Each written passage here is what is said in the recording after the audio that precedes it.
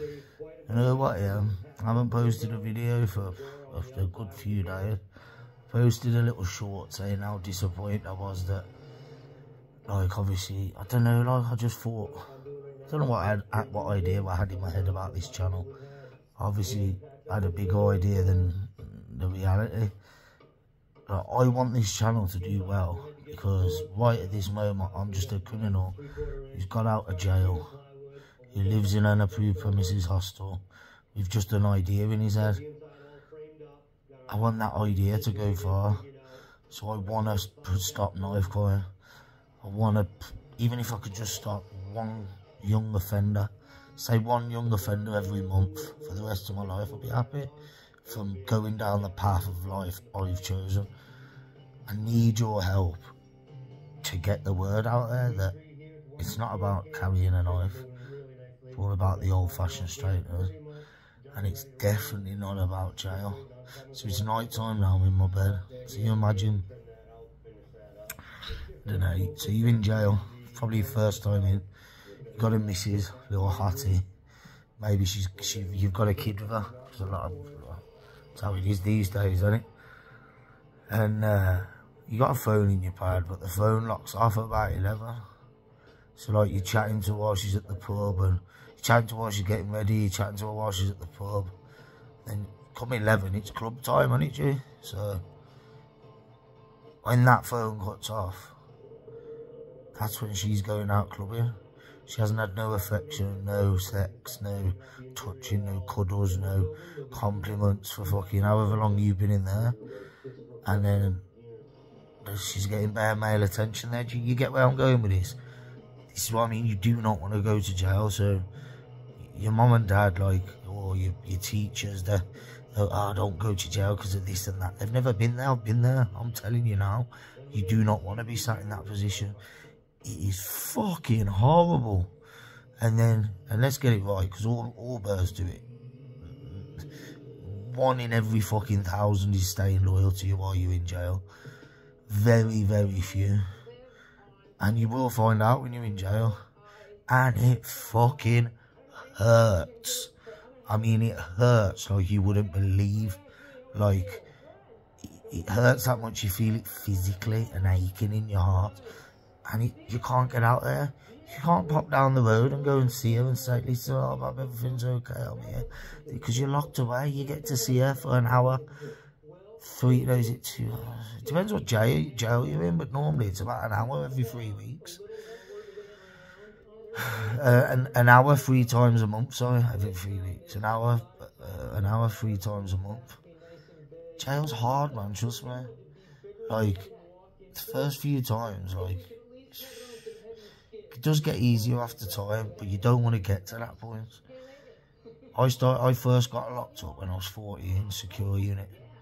Then went to Brinsford. Told you the Brinsford story, didn't I? When I had the shit kicked out of me by the screws all my life, all my good years, my 16th birthday, my 18th birthday, my 21st birthday, my 25th birthday, my 30th birthday, all the big ones, and bare more birthdays. I've probably spent, in the last 20 odd years, I've probably spent three Christmases on road. And like, if you got kids, you're missing out on all that.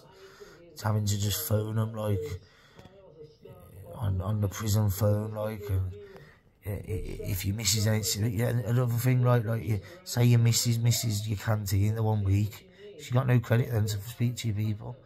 Oh god, there's so many things in jail, but because it's night time, I just thought I'd talk to you about like what it's like on a night. And it's hard, it's the hardest part. So the day you all you're out and about, you're having a laugh. Because let's have it, I'll be I'll be straight with you. In jail, it's a laugh. You have if you you, you got your little clicker mates, you have a laugh. You do. You got no responsibilities, you can just be immature. You're a fully grown man, but you got no responsibilities. You, you got no rent, your food's all there for you. you, you everything's just there for you. Um, so you've been out all day having a laugh with all your pals. And then bang up comes.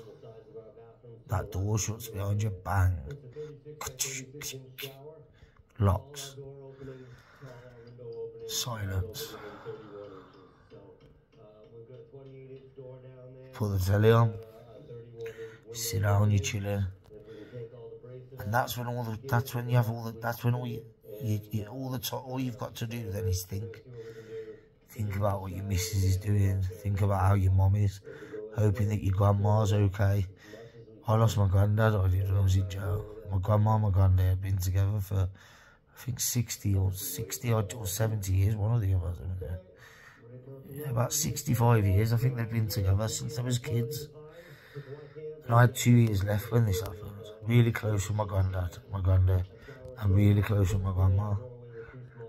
And he died, and I had two years left. Now, my little sister and my brother and my older sister, my older, just little dastards, I can't lie, I, I ain't really got much time for them. They don't—they've done nothing for her. I'm in there for two years. I've got two years left, so I was in there for four. I've got two years left, they're doing nothing for her. So I've got on the night, I've got my worry about my grandma. You see all these adverts come on the telly oh, about old people who are living alone. And you imagine being living with someone for fucking 70, 80 years. And then the, your partner's, your lifelong partner's gone. It's fucking horrible. But since I've been out, I've been seeing my grandma enough. I love her. As it goes, I need to go and see her this weekend, my health hasn't been the best um, since I've been out. But that's another story for us. I said in one of my shorts I was going to tell you all about it, but I'll do a whole uh, I'll do a whole video on that next. But listen, like the, the the point of this video, point of my channel is to try and prevent young people going to jail, spending the rest of their lives in and out of jail, but also reaching out to the parents. So if there's any people out there, parents who've got problem children comments. I put comments in there.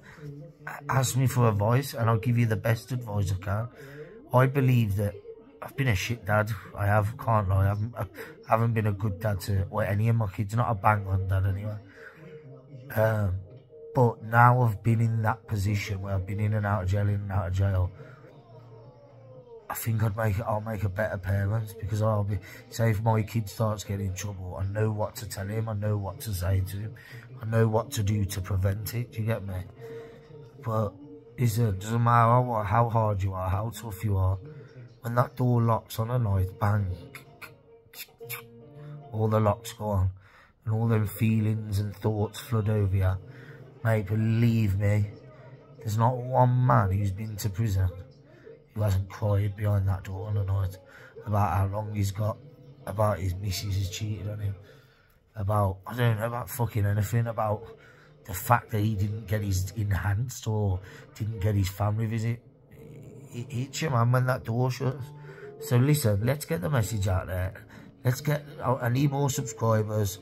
I need more fucking likes. I need more comments so I know what to talk about in my videos. I promise you I'll start posting more. But please help me get the word out there. Eventually, I want to be going into schools, doing talks. I want to get big. I want to be out there. I want original number one life change to be a brand name. Do you get me? I want people to know, man, that I've changed my life and I want to change others. So please help me. Stop knife crime and stop young people going to prison. Yo, I'm out anyway. Tired of that. Fucking shitty AP. Love.